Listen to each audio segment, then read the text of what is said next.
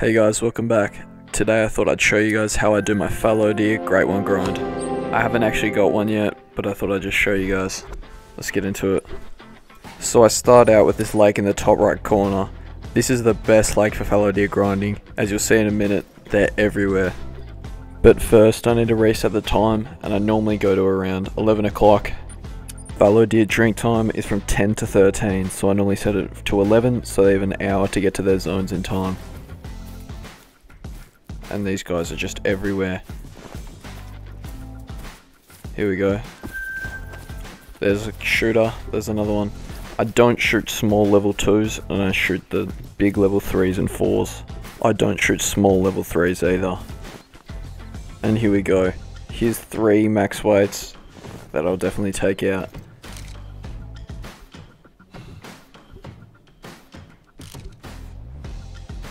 Go left to right. One. There's two. And that third's being difficult. He'll definitely go down though. It'll just take him a sec. There we go.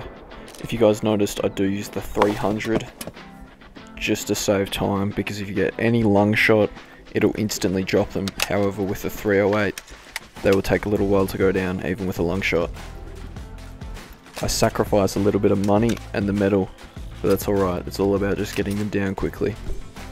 And as I said, these guys are everywhere. Just on the way over, we have another one that's a shooter. Just a medium-sized level 3, that'll definitely take him down.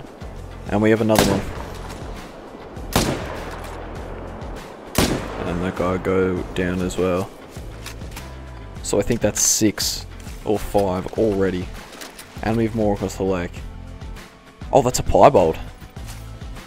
I'm at about 2,000 kills, but I've only shot one piebald, maybe two. Just gonna wait for him to maybe give me a broadside shot. Or actually, he's not even gonna make gold, so I might just take him out. Might try, get a good shot. Nah, that won't be.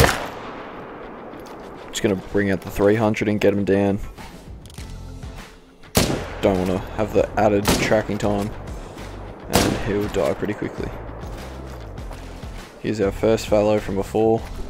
And he's a nice little chocolate fur type at 181. And here's our second one, would have been a nice gold. And just on the way over to get the others. There's even more spawning in. This lake is absolutely incredible. They're just absolutely everywhere and they're just keep respawning. That guy's technically a potential diamond, but I didn't get good shots. He wouldn't make it anyway. He's about a 230, 240. So I'm just going to take him down. He'll die eventually. And yeah, he did. Just got to remember to pick that guy up later. You end up shooting so many of them that you can potentially forget that you've even killed them. And that can be bad because then you don't get your respawns back. And here's the other one we shot from before.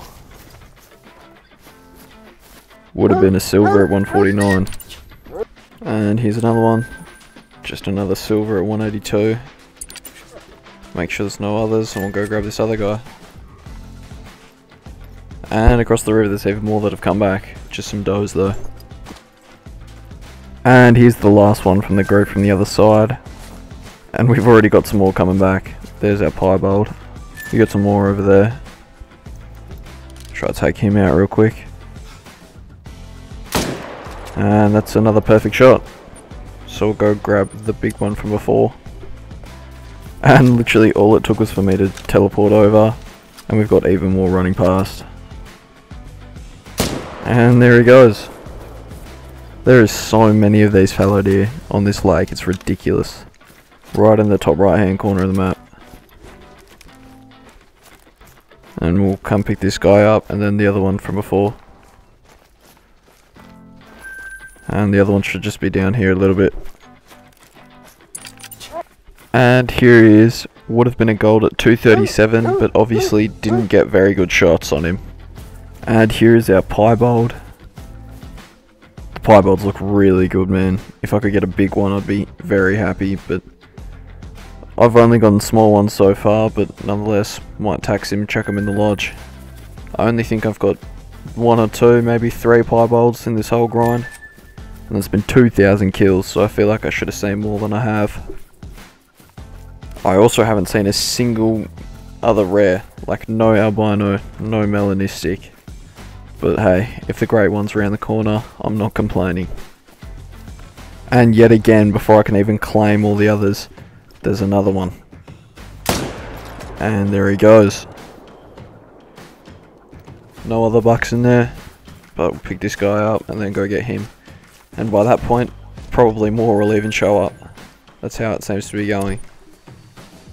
And here should be the final one. Would have been a gold at 220.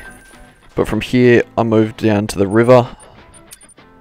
I'm just going to go check the codex and see how many we got just from this lake. Here it is. So we got from the 14th. So we got 1, 2, 3, 4, 5, 6, 7, 8, 9, 10. 10 of them in like 5 minutes at this one lake. That's pretty pretty good. So after the good lake, I'm down here on the river and I check those two zones.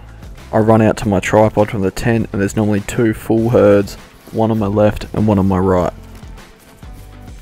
But sometimes they don't show up and I really don't know why. And we've got one, two shooters over there, so I'll shoot this guy first. So they're just alerted. That wasn't a good shot, but he'll still die. And these guys are gonna go alert, and I'll take them down. And both of them splat.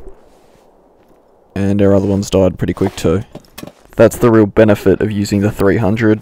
Even if you get a bad shot, they die really quickly. And here's our first little chocolate one. And the second's not far away. And here he is. Would have been a gold at 182. Sorry, silver. Then I just fast travel back and go grab the other one. And here's our final one. And next I move down the river to these zones. From here I just check this little zone down here. And the other one on the other side of the river. Looks like one shooter on the other side and a couple on this side. So jump up on the tripod and take these two out with the 300. Yep. Don't want to shoot that guy in the back, that's just a small little two, or that one. Just these two in the front. There's one. There's two. And here on the way over, I jump up on this tripod and take a shot on one on the other side of the river. There he is. There's the target. And there he goes. And here are two from before. There's one, there's two, and then I just fast travel to the other side, to the other side of the river, and get the other one. And here he is. Next I move on and fast travel to this outpost and run down to the tripod and take him out from the other side of the river. So here I am, I just jump up on my tripod, look to the other side, there's a solid herd over there every time. And I'll just try to take them out. So I run down from the outpost down to the tripod. And here they are. There should be one. That should be two. Nice. And I have a collection tent on the other side, so it's quicker to pick them up. And here these guys are. Two pretty small ones. And next, I move over to this zone over here. I've got a tent and a tripod, and it's normally it's normally pretty consistent. I normally have a few over there. And here you are, just run up to the tripod, and there's a solid one, up to 247. I reckon he'll score like right on 240, and we've got another nice one behind him. There he goes, and there he goes. Two nice shots, two dead fallow. And here's number one, scored 239, definitely not a bad one. And the other's just up here. Didn't actually check his score, just checked that he was max weight. Max weight, I'm pretty sure those are the ones you always want to shoot because they have the chance of respawning is a great one. Don't actually know if all of them can, but 82 to 100, that's the max weight, they definitely can. Next I move on down to this little spot, little cove I'd call it. This zone is very good. always consistently has a lot of deer in it. As you can see there, there is a lot of them.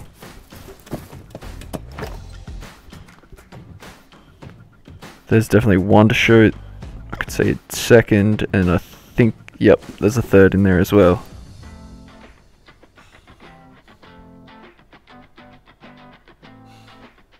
There's one. There's two. There's three. Oh, I didn't get that second one, but he's definitely going to go down in a second anyway. So we'll go pick those three up. And here's number one. Nice little, would have been silver. And the other two, dead line next to each other. There's the first. And there's the second. And next I move on down to this this tent and I check the zones nearby. So when I'm here, I check this zone over there mainly, and I've got a tripod for it as well. I also check on the other side of the river because sometimes there's some shootable things like that one. I am going to ignore him for now though, just for the sake of time, and go shoot the guys in this zone over here. As you can see, the tripod just over there. And up we get, and we've got two shooters. Definitely take those two out. One, two. Two dead fellow. And here's the white one, 184, and here's the chocolate, 153. So next, I move all the way down here, and I normally have a big herd of them down to the left. And this time is no exception. We have a nice max weight one down there, and a couple others that I could definitely take out.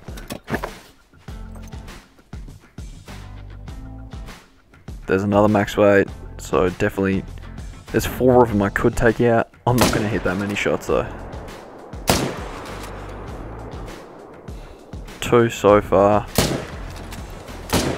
Nah, just the two. Messed up the shots on the other one. Tell you what, if I could actually hit my shots, I'd have a lot more dead fallow. Tend to miss a lot of them. And here we go. First one's a 143. And the second 188. Next I move on to this boomerang shorter shaped lake. And I normally get one herd and a couple solos at this zone. And here we go. Here's the herd of them. This sometimes is solo, but not today. That should be a good shot. Not quite. He'll go down pretty soon nonetheless. And that took him down. And just on the way over, right where the tent is, this other fellow has spawned in because we got out of render distance.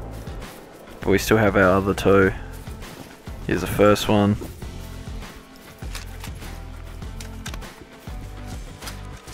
And he is bronze, and the second's just up the hill. And here he is, just a bronze at 164.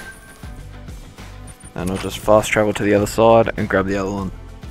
And here he is, Nice little chocolate. And next, the final lake I go to, the starter lake of Te Awaroa. I have two very good zones here. And unfortunately, one of them is leaving because I'm at the end of their drink time, but I'll try to get one of them and not alert the others. Did get one, and there should be another two over here. That one's not bad, up to 247. He'll score 240s. That'll take him out, and that'll take him out. Perfect. And I have a collection tent over this side of the river, and I also shoot some of these on my way over to claim those. And there, there goes that guy.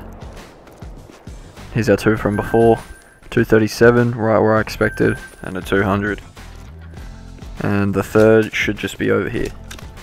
And here he is, bronze at 139. And here he is, just a bronze at 139. So I'm gonna chuck in a clip of a diamond. Unfortunately we didn't get one on this run, but here's one from earlier. There we go, there's a 5. Up to 263. I'm pretty confident this guy would just barely make it. That should have been a good shot. He's definitely going down. I reckon this guy will score like 254 or something. Oh. Definitely couldn't get that other guy though. but we'll pick him up. Here he is, definitely going to make diamond, and yes, 253. There we go.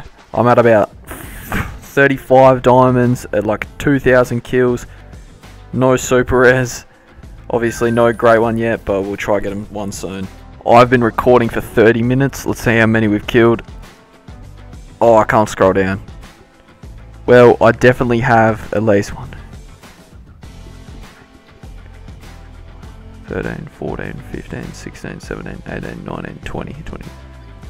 So I definitely had at least 20. I've been recording for 30 minutes.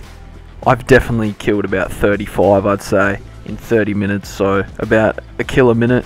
This grind's gone pretty well, I'd say, but unfortunately no great one yet. But try get him soon. Thanks for watching, guys. Hope to see you in another one again soon. If you did like this video, please like and subscribe. See you next time.